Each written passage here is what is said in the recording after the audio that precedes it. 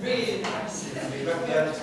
Recommend it to everybody indeed, and it is it's a quite premium product, let's be honest. Um, but it's it looks good and, and it's really excellent. So that's an enterprise that has a lot of potential, I would guess, although it's going to be a small run, isn't it? Um, my question then is around how much business expertise the company's got going forward. I can see one director who's a businessman. Um, but what other people are going to be working for the company have experience of working in the business? That was one of our key challenges in, in going forward because um, we recognise that people who work in the public sector, people who work a long time in the public sector, uh, haven't necessarily got the commercial acumen that people work in the commercial sector. And that was one of the reasons that we felt that we needed to go forward with the local authority company model as opposed to going for the full commercial model in order to develop that expertise and knowledge There are a number of people within the service that have developed some skills at, at a low level and, and have been able to inject some commercials into the service that they've got. We see it as being part of the developmental plan. So, uh, for example, the acting managing director has been on a number of courses through the Institute of Directors in terms of understanding what it is to be a director of a company as opposed to working within the local authority. And uh, the idea is that we develop, or that they develop with the staff um, along those sorts of lines. And, and it is really one of uh, emerging commercialism. Sorry, Graham, it's me again. I do apologise. It was just something that, that sort of Cherry picked up on about uh, the Royal Park and maybe pinching things from other councils. Just from my own mind, with regards to procurement, now obviously procurement rules are quite strict, and how would uh, an organisation such as the one we're talking about go on by appearing as though it had uh, insider knowledge with regards to making any bids for any work. Would, would it actually bid for any work from other councils? Would it go through the chest, which is, I think, the, the online facility for, for identifying any work that comes up? That's, that's the kind of question I want, because if you're vying against it from a private company, and then suddenly you've got this organisation, surely they're ahead of the game already. they'll have to compete for formal contracts on the chest, same as everybody else. Um, the issue about the service users is individual service users may have personal budgets or direct payments and they can choose to go where they want with them, basically. So um, the, the, the idea being that as a company advertises itself, it may attract business individuals. Um, but yes, the contractual uh, awards will be through the chest. Okay, Um, the recommendations that are on this report are actually those of Cabinet. Um, the recommendation for us is to know this, but having heard what we've heard, and I think I'm know, around the room that um, we wish them well, and to congratulate them, perhaps we would like to add that as part of our recommendation. So, uh, those involved with the resolutions um, on the establishment of the initiative, research enterprise, and wish them success going forward. Um, the next item on the agenda The next item on the agenda is the Healthwatch. Um, but unfortunately, Karen Pryor isn't able to be here. But if people want to either ask questions or make comments, I'm sure we can be those back to Karen um, to reply. By way of an, an aside, really, um, during the recent LGA peer review, um, Chairs Committee met, met with reviewers, and one of the questions I was asked as Chair this committee was what's the relationship like with the local Healthwatch? And I was able to say the relationship is strong and strengthening.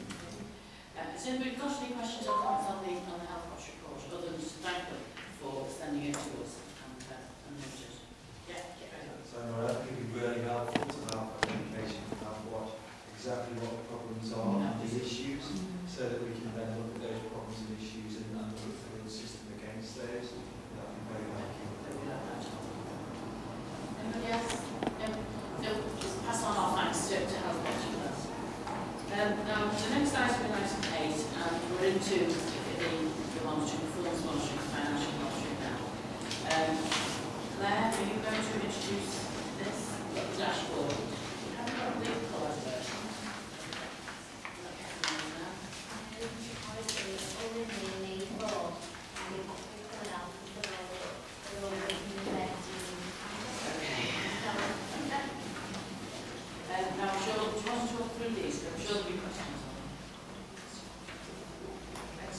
So this report sets out quarter two performance against the delivery of the Families and Wellbeing Directorate Plan, which covers the period July to September of this year.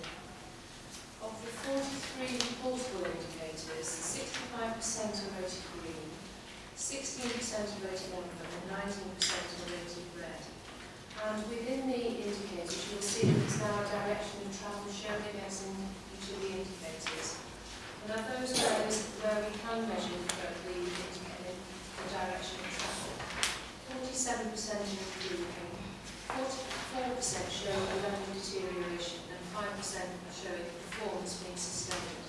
And clearly, Chair, there are uh, quite a number of indicators within the plan, and I'm happy to take any specific questions at the moment. Wendy? Can we start with the, the first one that we've got, which is related referrals to children's social care. Um, it's large, but I think the thing that I get particularly concerned when I read it is that I read there's been an increase in the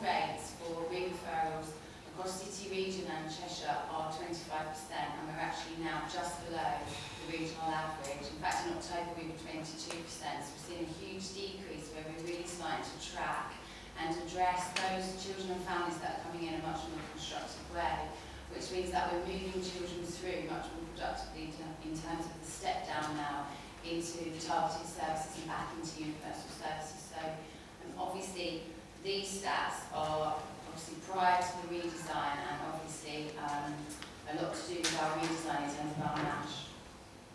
Does that answer your question? It does. Um, I suppose, I think you said that the re-referral was to do with the old structure. I think that, that but, but the, old, the old structure had been running for a long time and there was an increase in re-referrals occurring at that I think the other... Except you changed it. No, no, no. The, the redesign is definitely a huge driver of how we were managing work and not managing it as effectively. And as you know, um, we've reduced our, our workloads in terms of, as I say, our caseloads and our, our work in terms of much more effective systems. The other key issue for us is that referrals in terms of tracking through domestic violence is a huge issue for us. So um, what we've tried to do is obviously be much, much clearer with mobilising services much quicker in terms of domestic violence and child neglect. As you know, our child protection numbers have gone up um, quite significantly. Obviously that is obviously a lot to do with the amount of work that's been coming in and risk is being managed much more effectively. Uh, yeah, just on this, um, you just mentioned domestic abuse and uh, some increase. Um, what work are we doing then? Because obviously this will link in with one of our pledges around domestic abuse, zero tolerance. So we will be joint working to, to try and address this. The, the key um, months that are mentioned in, in this process, which is why the referral rate was so significantly high, is that we were without a police presence for the first three months, so May, June and July. What we were actually dealing with um, through August and September was a huge backlog of domestic violence. And what we've done with the police, the police have launched a new system now called BRAG, which has been successfully running in other city regions, particularly in Liverpool and Sefton, that are showing a, a decrease in terms of managing domestic violence referrals. I think it's a little bit too early for us, and certainly in the next quarter you will be seeing a much, a much clearer reduction. But BRAG allows for police social care to be able to grade the domestic violence and to then mobilise services accordingly. Um, and I think because they had no admin support and no one actually moving that work through, because as you know, if it doesn't come in, we can't operate within, uh, you know, working with it, then obviously what we had is a huge lump, for want of a better word, in terms of the work that we had to do in terms of domestic violence. And that's why in this quarter it looks significantly higher um, than, than, what it, than what it was in terms of actual. Why we have police? Well, we continually raised it, but I think what the police were saying is they were trying to get people in, they were dealing with huge cuts. We've now got domestic violence people in the MASH, and effectively, in fact, we've had three new police officers um, turn up, and obviously a lot more focus around CSC as well and domestic violence. So they're in the MASH now, but it wasn't for want of trying. It's very difficult when you're trying to work in partnership and you don't have that control over who's coming in and out of your MASH, but it has been flagged, and, and Julia has been you know, really clear with the superintendent about the impact on that. And I think that's what you're seeing now within these quarter figures. Oh, Um, sorry, it's going to Ganji first. I'm sorry, sorry. I've just got two questions. Uh, first one on page 105, it's saying that it's a new performance management framework being developed once um, the Wirral Plan um, has been finalised. I wanted to know if we could have an indication around timescale for that. And the second question um, was on page 110, um, the second indicator on that. I, I, I reread it a few times, and I was just a bit puzzled. So, in terms of rate of child protection funds, uh, 10,000, I would have thought that a lower number than the target would have meant it was green, as opposed to a, a higher number than the target. So I just wondered if you could have that. Yes, we'll answer that one first, Yes. and then move to the wider suite of indicators. Can I just say, um, we had a high rate of child in need, as you know, and what we did is a significant review. Over 200 cases were reviewed, and there were a number of children that we felt could be managed much more effectively through the child protection process. And estimating that, we slightly amended to show that increase. And as I say, the numbers are going up and have now stabilised actually, but what it shows is that effectively we were um, probably trying to work with families in child in need and being a little bit over-reliant that families were going to work with us, and that clearly wasn't the case. So through the formal child protection procedures, what you're seeing now is much more effective risk management plans, an increase in children coming into care through the court proceedings and moving into adoption. And I think what we wanted to do was not give an unrealistic picture that with our reviews and our ongoing tracking that our child protection numbers wouldn't go up for this year. Um, but obviously they will come back down in terms of relevant numbers as we've reduced our contacts, reduced our referral rate, and we've actually gone through and reduced all our child in need, and you'll see that in the next. Chair, if I could just add briefly, because um, mm. I'm, I'm not sure anyone has a consistent level of understanding because it feels like quite a complex world sometimes, social care. Um, children in need are children who without um, social work intervention and the intervention of partners wouldn't achieve their outcomes. And that, that's a category under the Children Act, mm. 1989. Um, and what we were finding, as Lisa has said, is there were some children in need who'd been worked as children in need with a social worker leading a plan mm. for quite some, quite some considerable time. Mm. And as Lisa said, because the parents were working with us, there was a confidence that, that we'd get there and things would improve. Mm. And, and what Lisa brought was an overview of saying, well, look, there seems to be ever so many children in need had a plan for a long period of time. And let's review them and see whether the vulnerabilities of those children need to be escalated to a more formal child protection plan.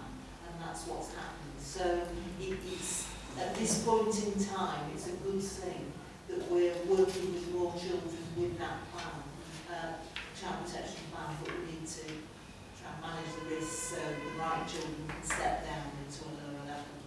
So can I just double check then, in terms of grading, the higher that number is, you're saying that it, it's green, and if that, if that kind of figure drops below the um, year on target, which is 40, 44.4, that it would then go to red, that's just greening the grading, that it was red.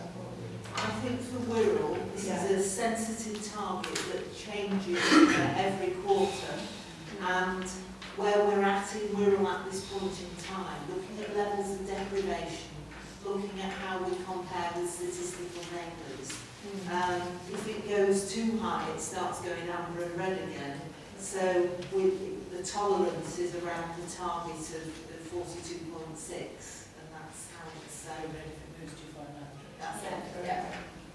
Um, Yeah, thank you, Chair. Um, really just related to these performance targets, if, if I were an Ofsted inspector coming in, which of these performance targets would give me the most concern? Is it the number of children that are in, designated as being children in need and the length of time that they're on the children in need register, or, are, or is it others? Or, or do we think that we haven't got any concerns that Ofsted will get unduly um, anxious about? I'll, I'll start. Um, I think they want to understand the narrative around the big increase of the numbers of children coming through the front door.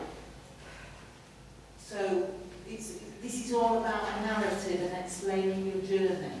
So once we start explaining that the, the, the increase in numbers of children coming through the front door is in part about moving towards a single front door, so it explains here we've got the early help gateway and the referrals into social care. They're all counted as one number now. So that accounts for the increase as we're trying to work with partners to stop there being different routes through which to refer in. So it's, it's read for a purpose on here because we need to be able to explain what the narrative is and then start to see that number starting to come down as people become more clear about when to refer to social care. Can I just say, what Ofsted will look at in terms of the narrative is, although the numbers were significantly high, they want to have some understanding about why. And I think at the point where um, we started to track the numbers much more effectively, is what was happening is, uh, as I've explained to colleagues in other committees, is that the work was coming into social care and then we were making a decision where it went back out. What we've done now is we've put a triage team in, which is full of other agencies as well as social care, to triage the actual inquiries so people can contact members of the public, other professionals will come in with the need of that child and family, offer some advice, offer some consultation around safeguarding. Only then when it meets our threshold, which is actually being further redefined and will be relaunched at the end of, uh, beginning of next year, will we then manage our door much more effectively. So we've got our triage team collectively and then our safeguarding social care route is at the back. And before April, it was just, as, as Julia said, two separate teams and it was quite confusing.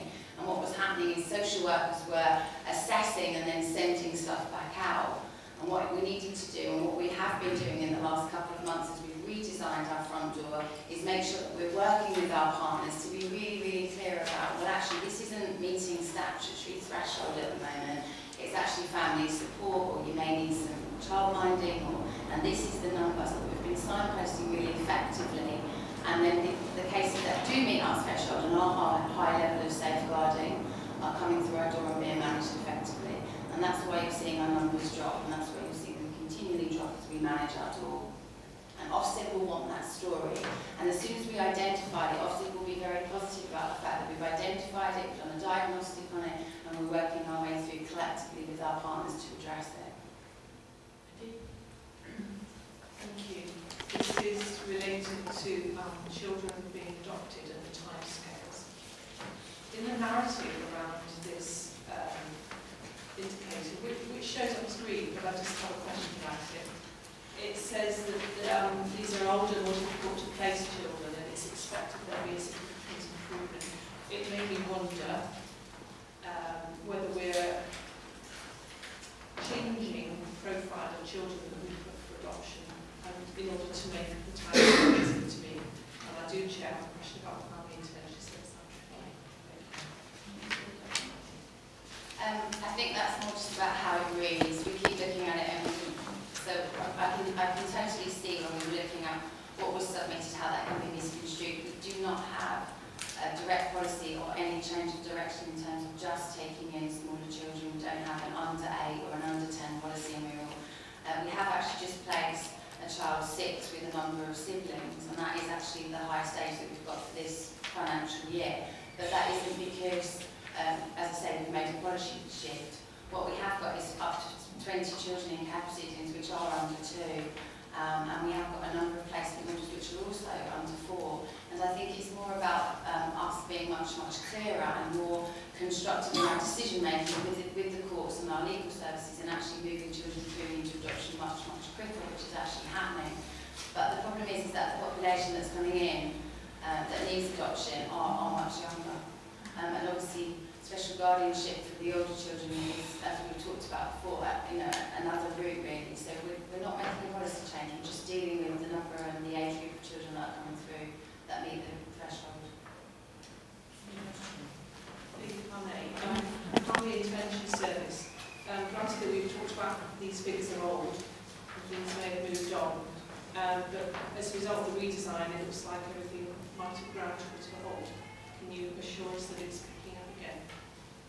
picking up with a vengeance.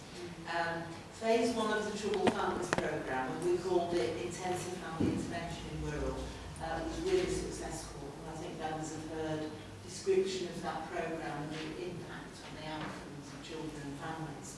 Earlier this year, we were selected as an authority to progress with phase two of the Troubled Families Programme. And what that means is that you, you can develop some local indicators and have a broader sweep of children and families that you capture.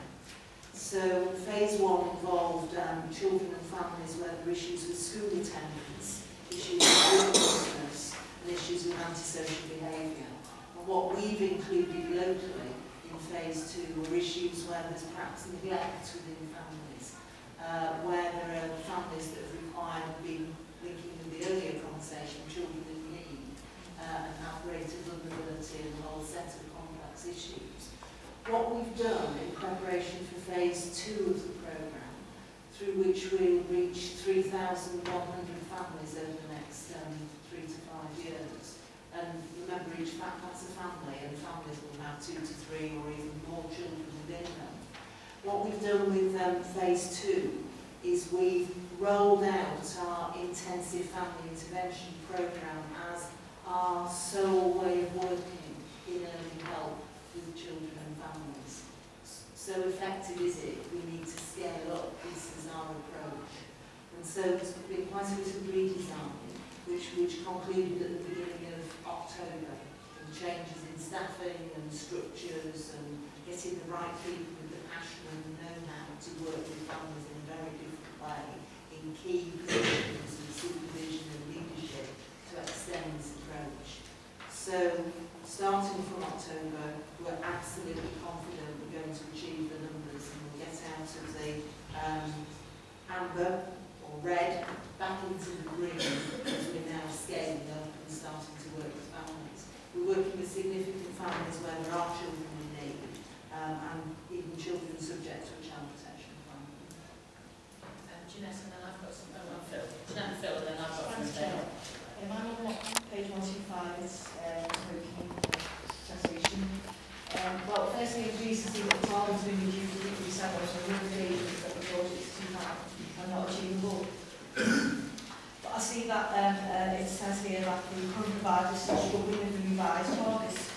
Um, given that the, the, the opiate use service was only narrowly missed their target and that was what I was rewarded to uh, another company of which, you know, were concerned at the time.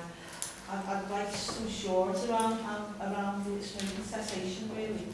Um, that it's, it's not going to be just hired out to someone else if the, if the margin of error is really, really small or if it'll be inbuilt into the new contract uh, how we can review it soon, on, a, on, a- on sooner rather than having to wait three or four years before we review the contract.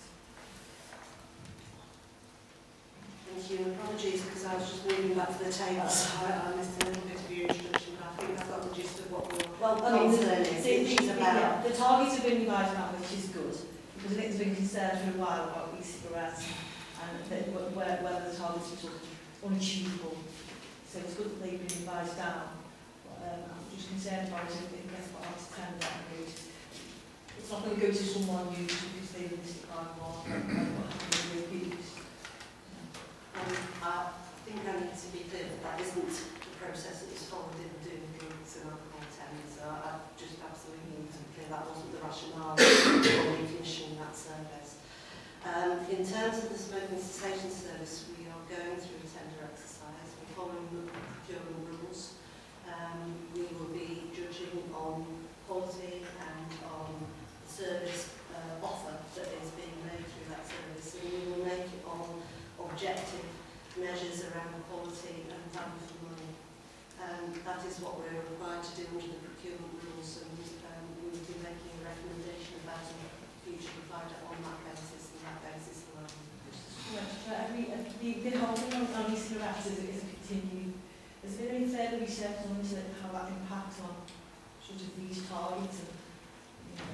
it, we ha it has cropped up time and again, hasn't it? Yes, the, the e-cigarettes uh, uh, agenda has been one I know members have been very interested in and um, we've raised it a number of times. Um, just earlier this year, uh, Public Health England um, uh, produced a report giving their view on um, uh, e-cigarettes and their um, usefulness, if you like, as a smoking cessation tool. Um, the jury is still out on the long-term effect, potentially, of, of e-cigarettes, but the balance of judgment is um, that they do less harm than a cigarette. So, uh, and potentially significantly less harm than a cigarette. So that should somebody choose to quit smoking using an e-cigarette, then um, rather than just assume that we rather than that in fact that any thing that helps somebody make that decision and helps them to quit is something that we can welcome in the face of the evidence that we currently have. Um, so uh, the, the bottom line is we still don't think smoking is a good thing. Um, we still don't know the long-term effects of e-cigarettes, but we're fairly sure that the level of harm relating to them is not nearly as much as smoking a cigarette, and so therefore we are not against somebody choosing uh, to use that as a route to quit smoking. Um, Phil, and then Tony, I'm, I'm got to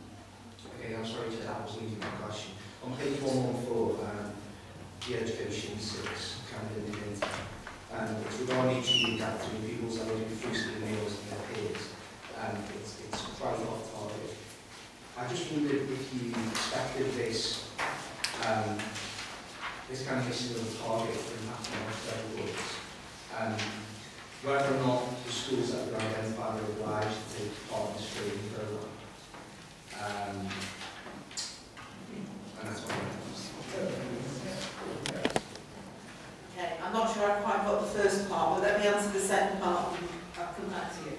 So, um, what we've done within the school, school improvement service, from September of this year, we, we've set up ourselves on a cluster basis. Uh, so we've got a cluster in uh, South and West Wirral, a cluster in Wallasey, a cluster in Birkenhead.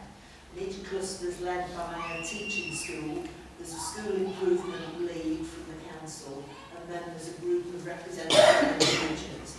And what we found is that there's a great appetite amongst the schools for looking at how they have a self-improving system and how they support each other. So that's a bit of a background to say the schools we've identified that need to improve are all saying, yes, when can the training start? I'm really keen to look at, you know, a step-up programme to support us, which is starting in December. So whilst we can't compel schools to be part of this, um, there's a strong um, collegiate approach and a strong lever to engage with it because schools all want to close the gap in order to achieve better outcomes for their children. That they, are primarily focused on doing this to make better outcomes uh, for children and families. My first point, I go like with something like my minutes on this. Is an increase in the gap going to um, present on Ofsted reports for the schools or for any, other report? Because if it's, the gap to have widened, um, and I presume that this programme has arisen out of that it's, widened. Given that you can't oblige schools get involved in this, how are you that this programme is going to work? Right. Confident it's going to work because schools want to do it because it's right for children, also want to do it, as you say, because Ofsted are really focusing on closing the gap. There's been a new report that was published this morning which talks about talks about secondary schools, and this is primary, but certainly in secondary, there's a big, even bigger south-north divide that's been highlighted. And there is a big issue in secondary schools about poverty of aspiration. And that gap is just really stubborn and not closing. What we know if we close the gap- in primary, and we do better in primary generally, that bodes well for youngsters moving into secondary. Because it needs constant attention, constantly setting high aspirations for children in certain communities in Europe, but Ofsted really on, onto it, all over closing the gap. That is their big issue at the moment. Okay, Tony? Yeah, just just touching on on on Tunwell there and linking everything together because I'm really interested in this group not just reducing the educational gap but this this group moving towards reducing uh, the life expectancy gap that exists um, within our within our within Wirral within our communities in Wirral. I went to um, the Bank in, um, meeting in um, in Brighton yeah. uh, which was highlighting uh, a life expectancy gap of 12 years between Rock Ferry and Heswall. So one of the, the big tasks of this group is to join everything together, reporting into that vanguard, looking at new opportunities to develop strategies that start reducing um, reducing the, the, the gap which exists in a, in a backdrop of, of reducing reduced um, resources cuts from, from central government and increases in poverty to certain groups. But we're talking about socio-economic groups. So it's looking at uh, the smoke, smoking sensation is a massive one, the drug and alcohol is a massive one. So linking in the improvements and commission of them services uh, to be, to be able to... to ask a question? Yeah. Because at the moment we're not sure where you're going. To, to, to linking into them services and to linking into the Van, Vanguard project. Which will give us proper strategies to reduce, because I don't want to be in a position in 10 years' time where someone stands up at the, um, at the, at the Healthy Wirral Conference and says the gap hasn't reduced at all and it's actually uh, increased. If just going to address that, and if you don't mind, Alison, that'll raise my hand. Um, I'll address it and I might actually invite John Griffin to uh, just add a few comments to if he wants to. Um, certainly that whole issue, um, Um, early intervention, prevention, getting that right is core to the intentions of the Healthy Wirral Programme. And that joining up uh, what we can do to uh, uh, try and improve um, some of the risk factors that are associated with those inequalities in health again are core to that. And been working to try and understand how we can pick people up effectively, how we can target them to the support that will help them with those issues and how we can um, work to put in place um, things that actually help people uh, be able to make the right choices and be able to do that in an empowered way. And so there's quite a bit of work and quite a strong intention that a key theme of how we approach healthy Wirral is to make sure that we, we work with three tiers of people. So we, we want to work with people where the moment their risks are, um, we're conscious that they're in the community and we can do some fairly low level interventions that will actually make a difference. Then there is the cohort where we know they've got existing risks and if we find them we can actually manage them really well and make a real difference to them.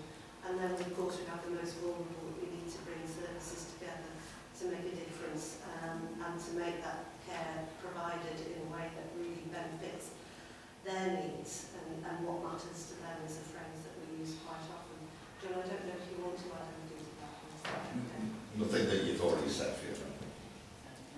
Um, Graham, my points to you are about related uh, indicators. One is the delayed transfers of care, um, where uh, I think we're performing well in comparison comparison with our neighbouring authorities. We're still um, at the problem area.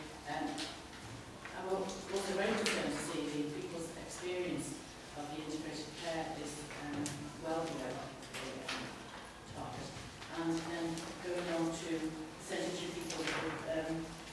been readmitted. to the Republic. part of the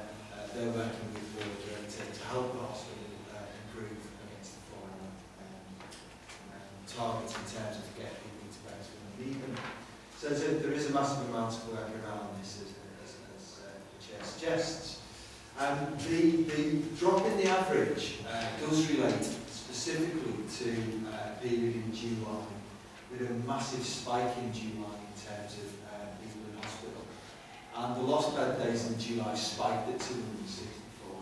So it's quite significant. Every other month it's been 195, so there's a really big spike at that point in time.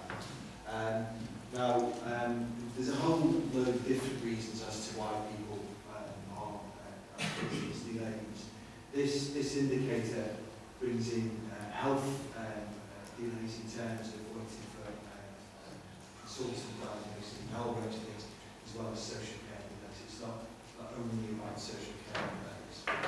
Nevertheless, uh, well, what we've recognised is there is more to do in terms of how we work with people to ensure that they get an assessment in a, in a very timely way. And whilst demand this summer has been absolutely uh, huge, um, we know there's more to do in terms of rolling out self-assessment and those types of things on the wall so that people can start the assessment process sooner.